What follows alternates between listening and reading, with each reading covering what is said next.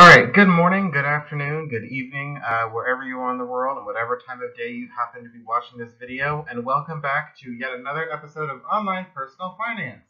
Woohoo, one of the YouTube's most boring shows. Um, but hey, a couple of good things is number one, um, we are actually winding down with this course. Uh, I don't know, it's kind of hard for me to like imagine that we're a little bit towards the end, but well, not a little bit towards the end, we are a lot towards the end. This this will actually be one of the uh, final episodes, or final, I guess, lectures. I keep calling them episodes of personal finance. But um, I don't know. Wow, it's kind of kind of weird to think about. Anyways, so I am recording this as of 4:52 p.m. on April 14th. So obviously, uh, whatever information that I'm talking about here may no longer be relevant by the time that you guys watch this video, which will not be until April 15th. So keep all of that in mind. A couple of quick updates for you guys. Number one, there have been 975 uh, cases of COVID-19 in Mecklenburg County. There have been 15 related deaths. The big thing is that these numbers are actually slowing down. We are having fewer deaths, we are having fewer cases than we originally anticipated, which means that all of these social distancing that we have been practicing has actually uh, worked. So hopefully we can continue to make these, or continue to make these accommodations and stay six feet apart and social distance and whatever else. We can continue to flatten this curve because the more that we continue to do our own part, the sooner we can get back to normal. Other than that, I don't really have a lot of other updates available for you guys. Um, it's kind of the same as it was on Monday, which actually I consider to be a really good sign. Big thing is that these dorms, again, no longer have to be used as makeshift hospitals. UNCC thinks we're not really sure. It's still in talks with the county. The UNC system is still uh, putting out housing or housing, dining, and parking refunds. And actually, just before I recorded this video, I got an email from UNCC about uh, my own parking refund, which means hopefully that uh, you guys will get it in the next few days. I think the email said I might get it tomorrow. I don't really know. I haven't had a chance to look at it. Uh, but the big things is that number one, retirement, which is what we're going to talk about today. You do have a quiz that is due Sunday by 11 p.m. And I promise I will publish the quiz when I publish the video. Uh, I apologize for that for you guys. Thank you to those of you who sent me a message on Canvas letting me know that I did not publish your tax quiz. But the biggest thing is this. So on 422, if you go and look at the calendar, um, you'll notice that there is a pick your own topic kind of day. And when I taught this at the high school level, this was something that I like to do where I just kind of took um, I don't know, a survey, I guess, for the students in the class and find out what you guys really wanted to learn about. And I kind of wanted to repeat this concept here. So if there's anything that you wish that uh, we had covered that we hadn't covered, anything that you thought that I kind of just glanced over and you want to learn more about it, um, anything else that you want to talk about in personal finance, uh, I'm totally open to that. Let me know for it on Canvas. So if you guys go to Canvas and you go under Personal Finance Basics, where the calendar is and your student survey is, it's the very first module at the top there should be a link called Pick a Topic. And what you guys do is it'll take you to a Google form, and I've kind of already, uh, I don't know, I don't know, suggested a couple of topics for you guys. You don't have to pick any of those topics. You can obviously uh, give me a suggestion as a topic that you want to learn about, but here are the suggestions that I've come up with.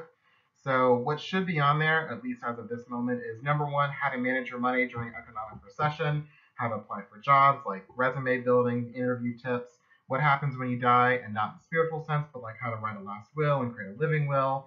If you're in credit card debt, how to get out of credit card debt, what to do if you feel like you want to change careers, and then there's another option called something else. And if you answered something else, then there is a, you can go to the next question, and it says if you answered something else, uh, what would be something else that you want to learn about? So anything personal finance related that you guys um, feel like we ha- or I haven't covered that you want me to talk about, just go ahead and put it in there, and um, we'll see what happens. Again, whatever you guys want to talk about is cool with me. And the last thing is that uh, your grad quiz, your grad ready quizzes 9 and 10 are due Sunday by 11, um, and there are no more grad quizzes right after this. I might have already said that. I don't know. But point is, is that grad ready quizzes are done after this. Hallelujah. All right, so on to what we're going to talk about today, which is retirement. Woohoo! So retirement is when you decide to stop working and uh, leave the workforce the workforce permanently. Um, at this point, you're decided you're not going to get another job, you're not going to change careers, you're not going to change companies.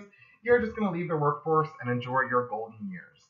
The retirement age in the United States is about 65. However, this age is rising because when this age or when this number was first derived, I guess, or first calculated, it was way back kind of like in the 30s and 40s when you know, people didn't really live as, they long, as long as they've lived today.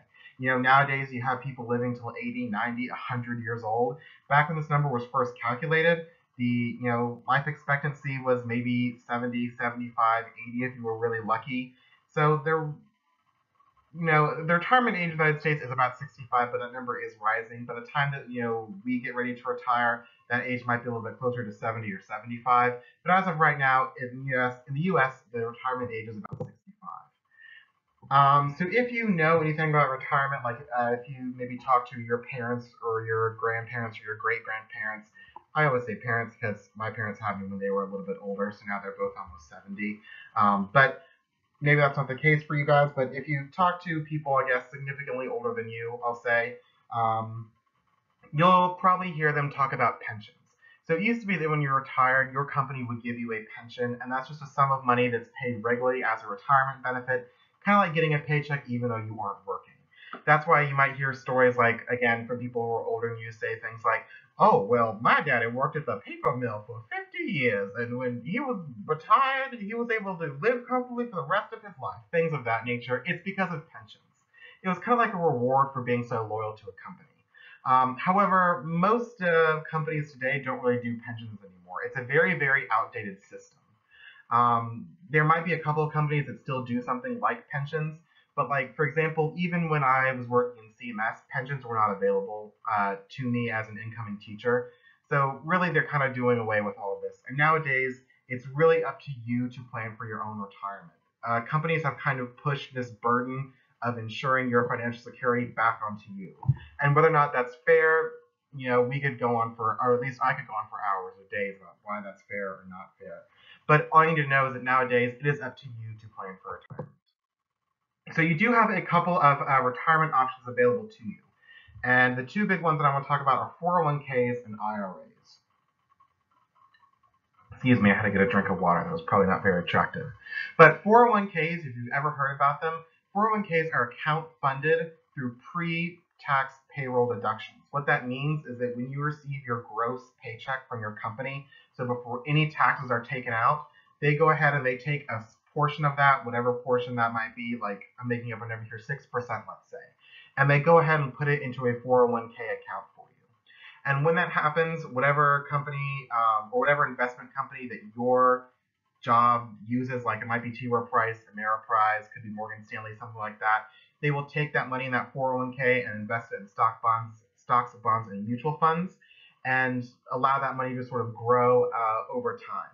And 401ks are not taxed until you actually start to withdraw uh, when you actually or when you actually retire.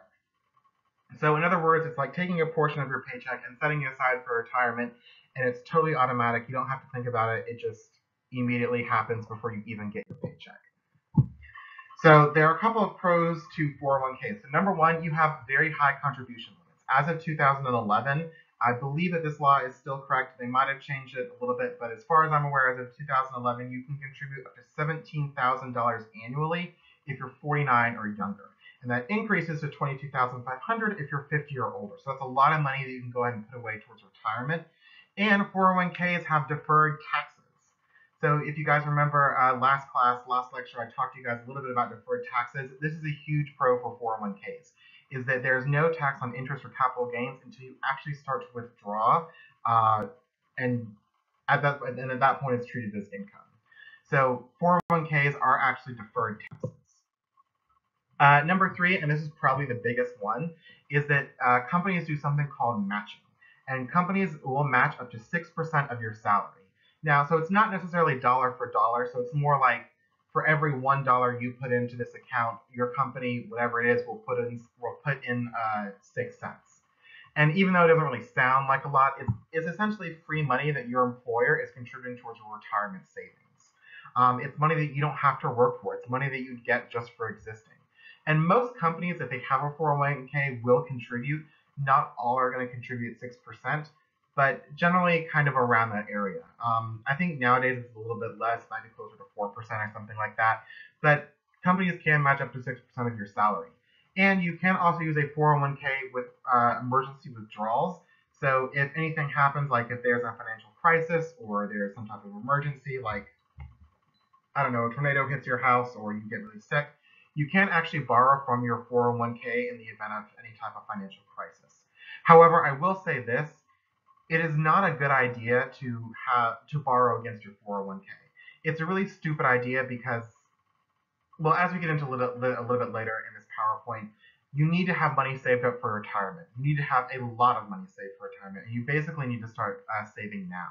And when you take money out of your 401k, not only are you wiping out all of the savings that you just accumulated over the years and years of your life, but you're also going to incur a huge tax penalty by having an emergency withdrawal. So use that only as like a very, very last resort. That's why you know you need to have things like a, savings account or um, like an emergency fund set up so that you can borrow from that before you actually start digging into your 401k or your other retirement uh, accounts. There are also a couple of cons for when it comes to 401ks that I think you guys need to be aware of. So number one is limited flexibility. Um, most companies are going to only offer just a few options on how your money will be invested. So if you're a person, you're like, I want to be really, really, really safe with my money and just put it all in bonds where I know it's going to grow. Um, your company may not really have an option like that. They may put some of your money into penny stocks, whether you like it or not. And unfortunately, that's just a drawback of a 401k. And as I kind of already said, um, it is taxable income upon withdrawal. So when you start to withdraw that money, take that money out when you retire, it's treated as additional income. So there are also penalties for early withdrawal, and it could be up to 20%. And there's an additional 10% penalty added to that 20% if you start withdrawing from your 401k before age 59 and a half. So that income is taxed once you start to withdraw that money, and if you start to withdraw early, there is a huge, huge penalty. Similarly, most 401ks are going to require you to withdraw by age 70 and a half. Uh, you have to start taking out money by this age. And if you don't, you are also, again, subject to tax penalties. So, you know, you have this sort of sweet range as to when you need to start taking out 401 or you have this very specific range as to when you can start withdrawing money. Because if you don't withdraw money at, you know, between these certain ages, um, you can uh, incur these tax penalties. And there's also a waiting period for most 401ks. So in most company or in most cases, a company will say you have to work for us for at least six months before you they start set up a 401k plan for you. And it's not really that big of a deal. I mean, at the end of the day, but it is one of those things where it kind of makes you stop and think you know, six months, that could matter to somebody. I mean, that's half a year. That could definitely matter to me. Sorry, guys, I'm taking another sip of water. So your other option that you have um, is an, indi an individual retirement account, or an IRA, and it is a self-managed account that is used for retirement. So if your company does not offer a 401k, or if you're looking at a 401k and you're thinking to yourself, eh, it's really not for me. I want to be a little bit more control of my assets and how I uh, manage my savings for my retirement. An IRA might be the best option for you. There are two types of IRAs. There's a traditional IRA and a Roth. If you go and you talk to like your parents, your grandparents about IRAs, they'll probably going to be more familiar with a traditional Roth IRA or a traditional IRA Roth IRAs came into play a little bit later. I want to say like right around 2005 is when they actually started coming out. But for traditional uh, IRAs, the biggest, uh, I don't know, uh, the biggest, there's a word here I'm looking for and I can't think of it now. I guess the biggest pro for a traditional IRA is it allows you to make tax deductible contributions, meaning that whatever money you contribute to your IRA, to your traditional IRA, you can write that off your income. You don't have to report it. If you think back towards taxes, you know that you have to calculate to get your AGI, you have to calculate your total income and subtracting the income you don't have to report or tax exempt income. So this is an example of tax exempt income. So if you made $50,000 last year and you put $40,000 in a traditional IRA, well, guess what? Your taxable income is only at $10,000. Um, and the money, again, for a traditional IRA can be invested in stocks, bonds, and mutual funds. And it's things that you, well, okay, I don't want to say that, but you have a little bit more control over how safe you are with your IRA. Um, I have an IRA personally, and uh, I think when I set it up, I could tell T. Rowe Price, which is where I have my investments with, how risky uh, they I wanted them to be with my money. But the big thing is that uh, traditional IRAs they grow tax free until you turn age 59 and a half, at which point you can be withdraw start withdrawing money. However, eventual withdrawals will be treated as income and it will be taxed as additional income. So even though you're writing them off your taxes now, you're going to get taxed for it later. So at some point you do pay taxes. Now the reverse of that is a Roth IRA. And a Roth IRA allows people who don't exceed a certain income level to contribute a limited amount of money towards retirement annually. However, contributions for a Roth IRA are not tax deductible. So like for example, I have a Roth IRA. Uh, to me, this is more worth it, and I'll get into the comparisons in just a minute. So like, let's say, um, okay, like when I was teaching. When I was teaching, I made about $30,000 a year. When I, if I put, you know, $5,000 into my Roth IRA, that what that $5,000 wasn't something that I could take away um, from my total income. It was not considered tax exempt. So I did have to report that, and I did have to pay taxes on it just as if I had not put that money away. However, the biggest uh, pro for a Roth IRA is that when you start to take out money, when you start to withdraw, you are not taxed. And it's because you've already paid taxes on all of that money. So in both cases, for traditional and a Roth IRA, you're going to pay taxes. But the essential question is whether you want to be taxed now or whether you want to be taxed later. Uh, for a Roth IRA, you're taxed now, your money is immediately put away, but you get a tax break later. Traditional IRAs, uh, you are taxed later. You can write that off your income. You do not have to report it. It's like you never even earned it, but you don't get a tax break uh, later. You get your tax break now. So it's kind of, uh, I mean, it's kind of a toss-up. It's whichever one that you guys think might work best for you. For me, I wanted a tax break a little bit later, and I don't mind paying taxes on my money now. I'd rather do that. Uh, so for me, a Roth IRA was a little bit more worth it. But again, that's just my personal opinion. You guys might be, you know, hearing me talk about a Roth IRA and go, "Wow, that's a really stupid idea." And traditional is just so much better. You know, you can go for traditional IRA. There's absolutely nothing wrong with it. The other retirement benefits you guys need to be aware of are number one, Social Security. So Social Security, which kind of came around in the 30s, is a federal benefit program that's funded through taxes and grants if you guys are working a full-time job right now, and when you get your paycheck, you might see something like your Social Security tax. Uh, that goes to Social Security in general. So when you retire, you can go ahead and apply for Social Security and get Social Security checks, kind of like a pension from the federal government. Um, and it just grants additional income to retirees. However, Social Security is a failing system. You guys have probably heard a lot about this uh, over the course of your life. I know that I have. And the way that the system kind of is right now, because so many presidents, Democrat and Republican, uh, and Congresses have barred against Social Security, it's there's just not enough money there. I mean, we have, if you look at the population of the United States, we have a huge set of people getting ready to retire um, that will start to withdraw from Social Security, and there just isn't the money there to pay for. Them. So it's most likely, like if you're in a situation like I am, that even though you're paying into Social Security, you're never going to get you're never going to get that money back if things stay the same the way that they are right now. Uh, in Social Security, those checks are based on your income. So the more money you earned in your year, whatever that or whatever your job is, the more money you get to collect. So the idea is that you get to sort of maintain your lifestyle at some level after you retire. And the second thing is Medicare. So I don't think we've really talked about it in this class yet, which, ooh, that could uh, actually be an option um, for the pick your own topic kind of class. So when how you get health insurance in the United States is you get it through a market-based plan. So you have to apply for a job, and uh, your job should have or should offer you some type of healthcare coverage that uh, you can get on. Um, and obviously, when you retire, you don't have a job anymore, you don't have health insurance anymore, and so you need health insurance. Well, the government steps in with something called Medicare and it just grants retirees 65 or over medical insurance so that they can go and see the doctor and it doesn't necessarily cost them an arm and a leg. More water, hallelujah. So, um, oh, there's something else I was going to say about Medicare. I can't remember what it was now. Oh, so Medicare is just kind of like universal health insurance in the United States for retirees 65 or over.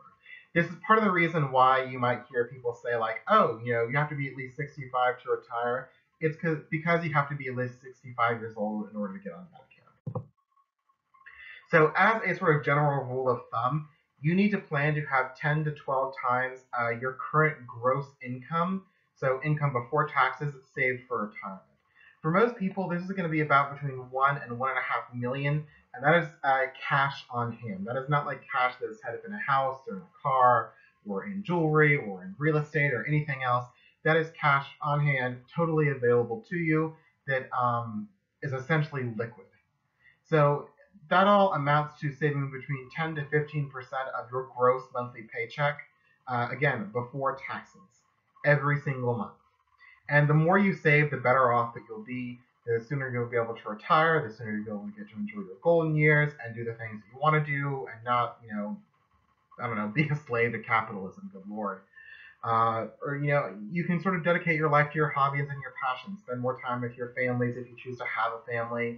Or, I don't know, maybe you have pets. You could spend more time with your pets or spend more time with your friends or go and move into a log cabin in the middle of the woods and never talk to anyone again. Whatever your dreams might be. Uh, retirement sort of allows you to explore that, and the more that you save, the quicker you'll be able to retire and the quicker that you will be able to live your life the way that you want to live. Now, the biggest thing is that you need to start saving now. Um, I think I opened my IRA when I was 23 years old. I think so. I'm 25 right now, so I've only had my uh, Roth IRA for two years. So I don't know. I kind of feel like I got started a little bit late, if I'm going to be perfectly honest. I really wish I had started at like 18, 19, or 20.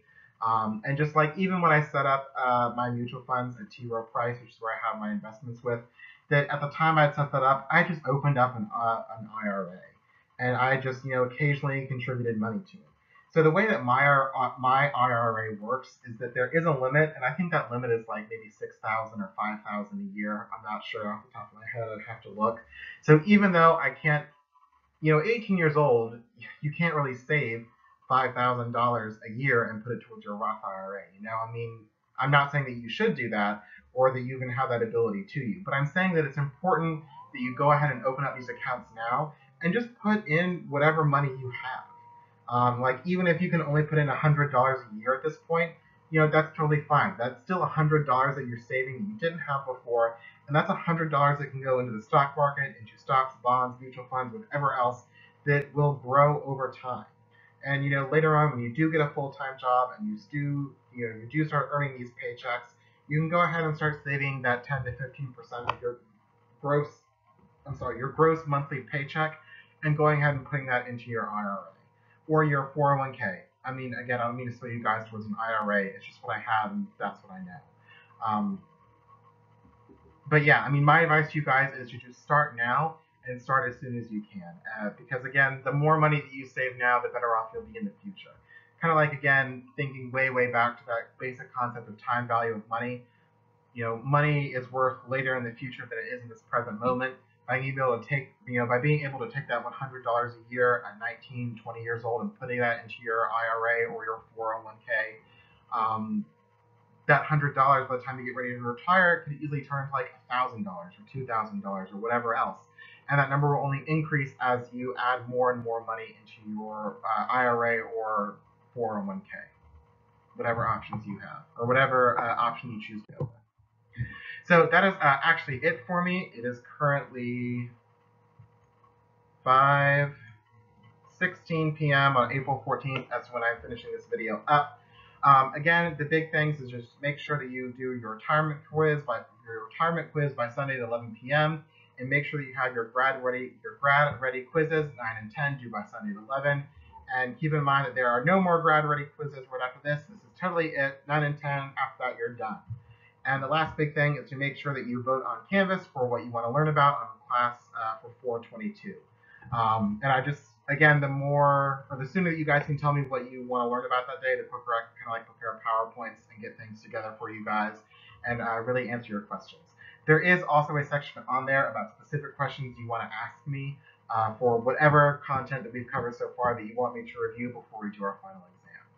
So as always, if you guys have questions, comments, concerns, please send me an email, send me a message on Canvas, uh, get in contact with me with uh, whatever way you can.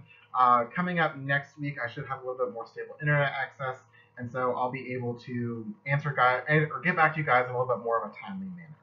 So that's it for me today. Um, I hope you guys are all staying happy, staying healthy, and you know this will all be over soon. I promise. I mean, this won't last forever. Bye, everybody.